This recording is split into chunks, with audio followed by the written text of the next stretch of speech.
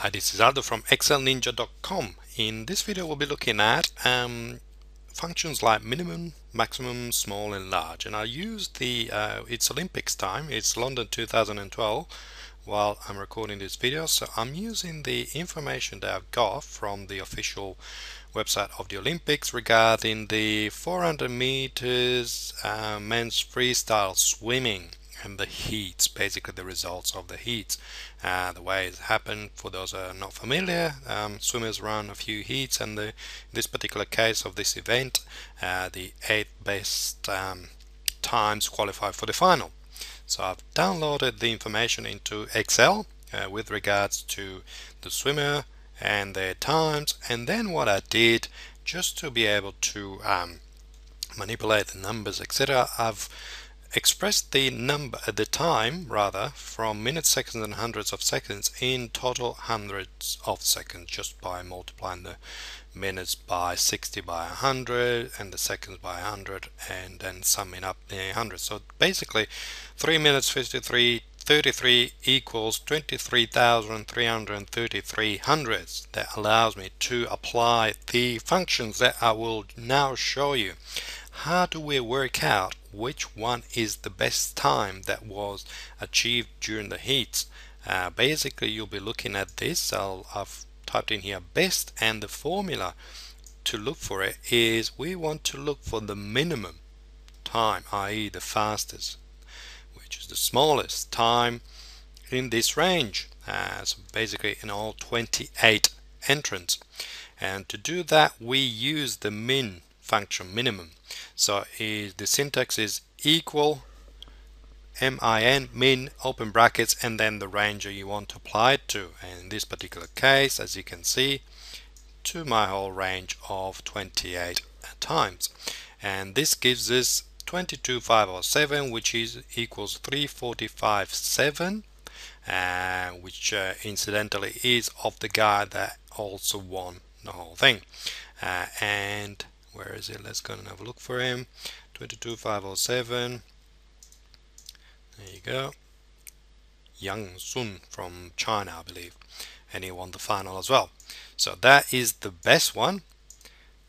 The worst one was 4 minutes 9 10 and we get that by instead of the min function applying the max max again open brackets and then the full range and again this finds a maximum value within a certain range. Then there's two more uh, function I want to show you. One is called small and the other one is called large.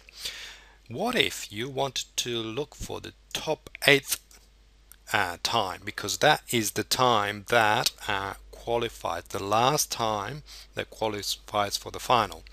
So what I've created here is use the small function which basically again looks at the range that you specify but then it sort of chooses the eighth smallest value within that range. And I do that by inputting 8 here and referencing the cell B6 in the formula. So what I'm telling uh, Excel here is to look for the eighth or whatever number I put in cell B6 which happens to be 8 right now and look for the smallest 8th value in the range from G12 to G39 so the the number happens to be 22725 which equal 34725 which happens to be 1% um, higher than the best time that we identified before. So the eighth entrant to the final went 1% slower than the fastest. Uh, similar, if you want to change this, you know, I can change to 3. So the top third, sorry, the yeah, the top third competitors that qualify for the final uh, qualified in 346.24, which is 0.5% worse than the best.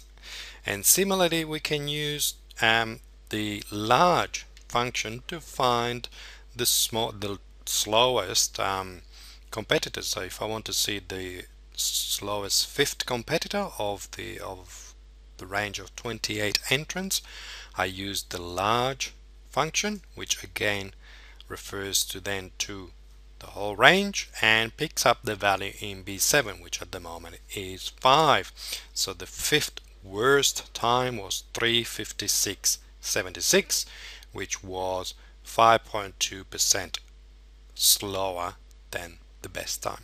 So again to recap to find the minimum value in a range of values you use the min function min to find the maximum you find you use max max and then if you want to find a top something value you use small for the smallest and large for the largest